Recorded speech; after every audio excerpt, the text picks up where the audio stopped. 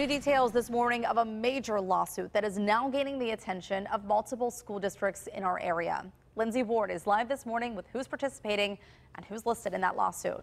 Lindsay?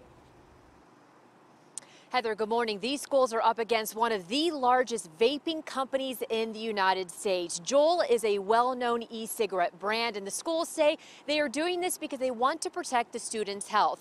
Now, all five school districts in this lawsuit are out of Butler County, and they filed this lawsuit against Juul and its parent company, Altria.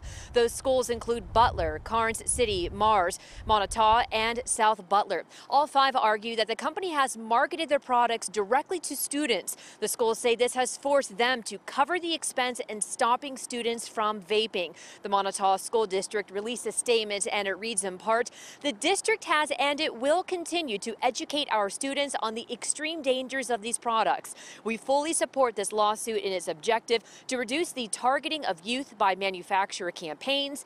We recognize more work needs to be done to assist our students in their recovery from their ongoing nicotine addiction. Now, there is a possibility other school districts will join in on this case. The law firm that filed the lawsuit is currently reaching out to other schools, and if they do, we will be sure to let you know. Reporting live this morning, I'm Lindsay Ward, KDKA News.